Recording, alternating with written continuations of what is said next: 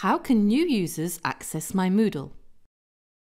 There are two steps to adding users to your Moodle site so they can teach or learn in your courses. To have access to the site, they must first have accounts. Moodle calls this authentication. And they must then have access to the appropriate courses. Moodle calls this enrolment. It's important to know the difference and to understand that you need both of these for users to gain access to your site and courses. There are several types of authentication and several types of enrolment. As an administrator, you can click Site Administration and see a number of tabs. From the Plugins tab, you'll see Authentication and Enrolment.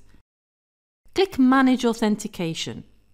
Here is a list of the authentication plugins, that is, different methods to allow users to access your site.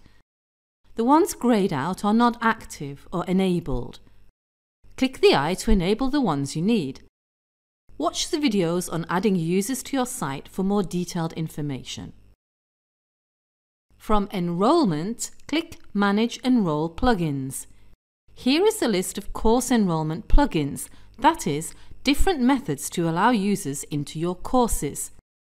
Enabling any plugins here will mean they'll be available for use in courses in your site. For example, if you want to use PayPal for paying courses, click the eye to enable it. Watch the videos on enrolling users into courses for more detailed information.